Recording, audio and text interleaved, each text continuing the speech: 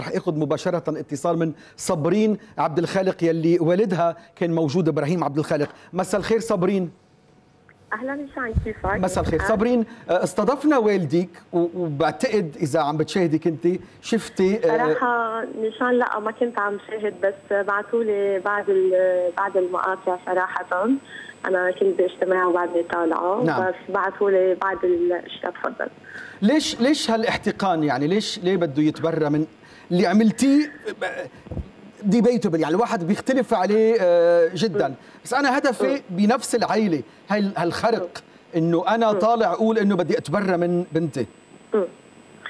أول شغلة نشان أنت عم تحكي مع انسانه دكتورة ومثقفة ومعلمة منفتحه على كل الثقافات بحكم شغلي أول شغلة أنا بدي أقول لك من منطلق العلمي والمبدأ. شو بتشتغلي؟ شو بتشتغلي صابرين؟ أنا خبيرة قانونية خبيرة نعم. قانونية نعم. دولية. آه نشان أول شغلة أنا لم أعتبر والدي إنه تخلى عني أو نفاني من العيلة لثلاث أسباب. نعم. اولا أنا آه ما زلت لحد هلأ بعرف عن حالي صابرين إبراهيم عبد الخالق ولحد هلأ بعدني طالع سجل عدلي واخراج إيد عائلي. يعني أنا للصدفه إنه امبارح بعد طلعت سجل عدلي للبنت اللي عندي الجديدة. يعني أنا لازلت على خانة أبي فأنا لم أعتبر إنه والدي هو أصلا نفاني هيدي أول شغلة. ثاني شغلة آه الموضوع هو آه أنا لما أول مرة طلع يعني على ال social media آه مش عم مع حضرتكم طلع على ال social media. أكيد هو عنده وضع صحي معين وفي يعني الطابور الخامس اللي عم بيحرض بالمجزر والدي علي وهن بيعرفوا ظروفه الصحية. وإذا كلكم سوا يعني كل المحللين وكل الاعلاميين بيرجعوا بيراجعوا المقابلة بيعرفوا إنه كان في تقاطع بالكلام وغير الكلام غير مترابط أوكي؟ كان هو مدفوع إنه يحكي هالكلام وكان وضعه الصحي أكيد منه منه مضبوط هذا هذا الموضوع. ثالث آه سبب. شو ظروفه الصحية صابرين؟ شو ظروفه آه الصحية؟ ليك رح أقول لك شغلة نشان. أنا بالنسبة لإلي آه أنا هيدا بيي يعني هيدا بيي وهيدا عيون اثنين. يعني هيدا عين اليمين وعين الشمال وقلبي. آه أنا آه أنا بقول له الله يسامحه وهو كل عمره بيفتخر فيي لأني أنا طلعت إنسانة رفعت له راسه بعلمي وبثقافتي وبانفتاحي على كل الناس. أوكي. وبمثابرتي على النجاح بالرغم الظروف البيئية اللي نحن بنعيشها فوق يعني بالمنطقة بهي الموضوع. أنا ماني جاية أحكي صفي صراحة يعني. ما بديك تتأثري بديك تحكيني تفضلي. لا لا يعني سوري أنا ماني جاية على الهواء لحتى أحكي. أمور عائلية أمور عائلية. لهذا الموضوع عفوا نيشان مع احترامي لك ولا دموزيل رشال ولا ضيفك ولا كل مشاهدينك. هيدي الأمور العائلية ما بتنحكى. ولكن الموضوع أنا رح أقول لك شغلة أنا على راس السطح وأنا إنسانة عندي مبدأ وإنسانة تربيت بمدرسة ميشيل عون. وأنا حرة إني أحب ميشيل عون مثل ما بالطريقة اللي بتحبي فيه نعم. مثل ما أنا بشوفه مثل ما أنا بشوفه.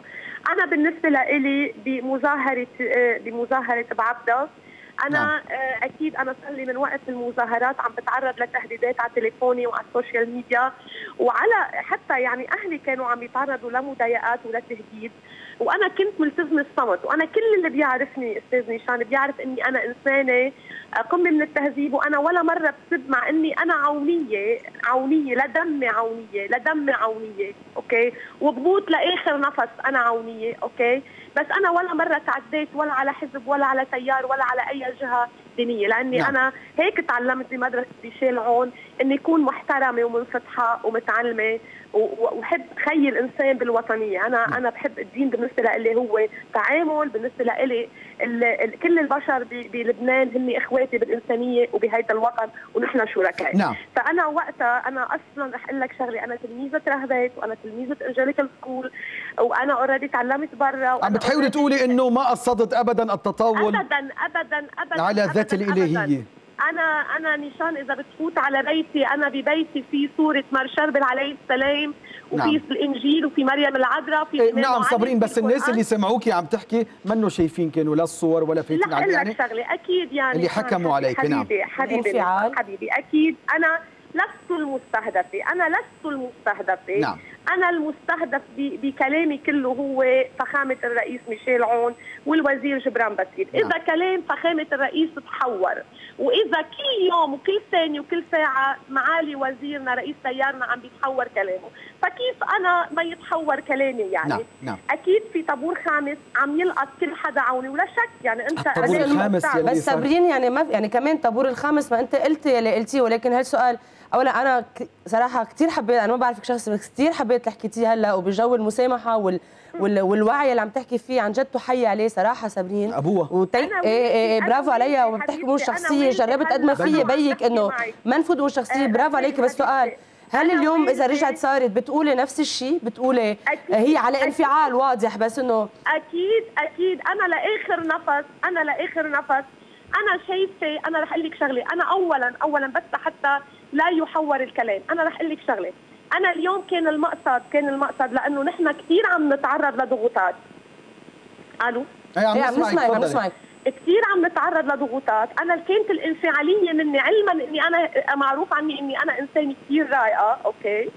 بس أنا كنت عم بت- بستفز كثير من خلال التهديدات التهديد والأمور اللي عم توصلني على رئيسي. ورح أقول لك شغلة.